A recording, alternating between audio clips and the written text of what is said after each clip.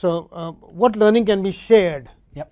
regarding the old team's skill Yep. set Yep. not up to the speed? Yep. Um, the, the the way it is put is that post training, if they still do not come up to the spec, Yep.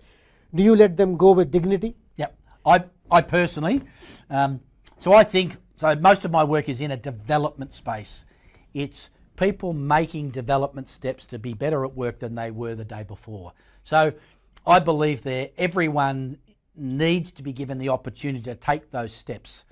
But if they're not capable to take that step, then it's not appropriate to demand that and if they don't want to. So, as I said, give everybody a ticket on the bus, but provide the necessary training, but it needs to be real, okay? And if people don't do what the training is encouraging, they need to be challenged and questioned about why, okay?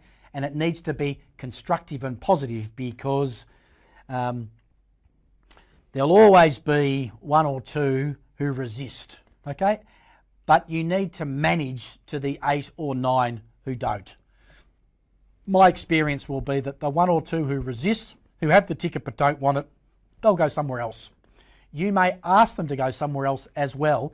I think you've got every right to do that if you've been clear about the strategic direction. You've given them the opportunity to grow and learn and develop. But if they're choosing not to, then there needs to be a consequence to people's behaviour.